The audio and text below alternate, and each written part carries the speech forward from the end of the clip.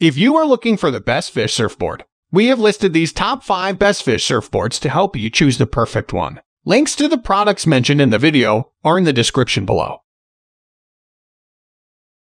Number 1. Most popular.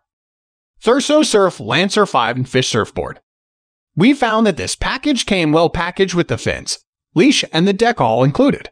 We were so happy with the quality of the fins that we ordered them for our new surfboards. The fins came with the original packaging and the fin box was wrapped in some type of foam-like material which protected the fins while it traveled in the mail. It was simple to install the fins with some help from one of the boys who helped us with some extra advice. The fins were really easy to install and the instructions were clear and easy to follow. They are extremely soft and provide a very good grip on the water, which makes them easy to control the surf. Number 2. California Board Company 6 to a Fish Surfboard. This is a surfboard that is designed specifically to give the most comfortable ride for your feet when riding the waves. It has a high-density foam core board with a smooth top surface.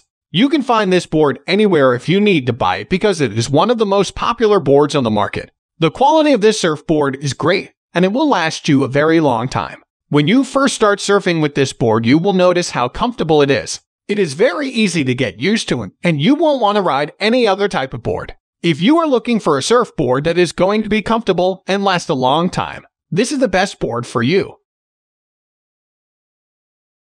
Number 3. Thread Soft Top Surfboard.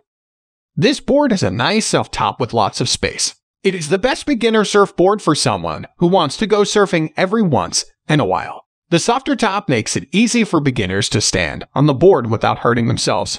It also helps beginners learn how to control their boards without getting hurt. It's not just an average surfboard, it's made out of foam, and it's the easiest way to get started with surfing.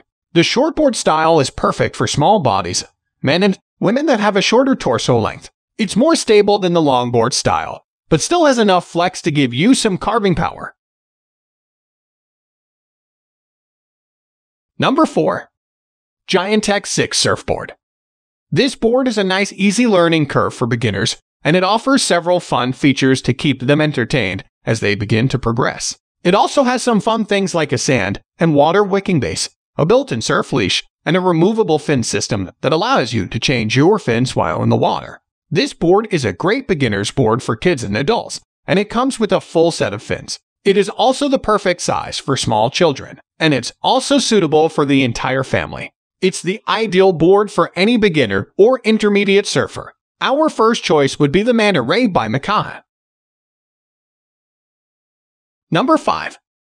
Wavestorm Soft Top Foam 5-6 Surfboard.